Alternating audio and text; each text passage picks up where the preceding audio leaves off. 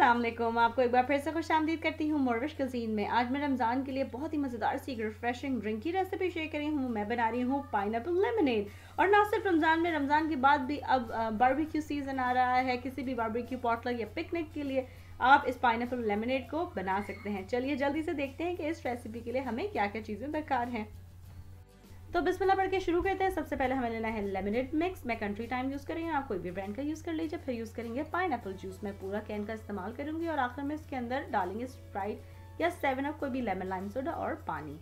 एक पिक्चर में मैं लेमिनेट मिक्स और पानी डाल रही हूँ, फिर इसके अंदर शामिल कर रही हूँ पाइन का जूस और फिर इन तमाम चीज़ों को अच्छे तरीके से हल करेंगे। इस वक्त आप चाहें तो लेमन स्लाइसेस और पाइन चंक्स इसके अंदर शामिल कर सकते हैं। इसको रखेंगे फ्रिज में और खूब ठंडा होने देंगे। जब आप इसको सर्व करने वाले होंगे, उससे पहले हम इसके अंदर जो सोडा है, वो डालेंगे। और फिर बस इनको ग्लासेस में डालिए, लेमन स्लाइसेस और पाइन चंक्स और बहुत सारी बर्फ़ के साथ सर्व कीजिए। देखा आपने, कितनी जल्दी और कितनी कम इंग्रेडिएंट्स की रेसिपी बन गई।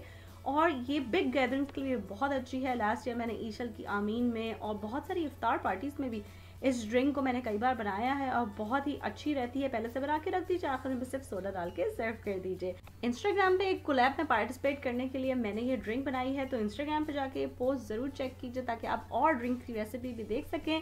अगर आप इस रेसिपी को ट्राई करें तो प्लीज़ ज़रूर बताइए कि ये आपको कैसी लगी। कुछ और सीखना चाहते हैं तो वो भी ज़रूर बताइए। हैश टैग रमदान विद मोरविश के साथ ज़रूर शेयर कीजिए। मेरी रेसिपीज़ को पसंद करने का और उनको सराहने का बहुत शुक्रिया। अल्लाह हाफिज़। अगर आपको ये रेसिपी अच्छी लगी तो इन लिंक्स पर ज़रूर क्लिक कीजिए। ऐसी और बहुत सी मज़ेदार रेसिपीज़ के लिए।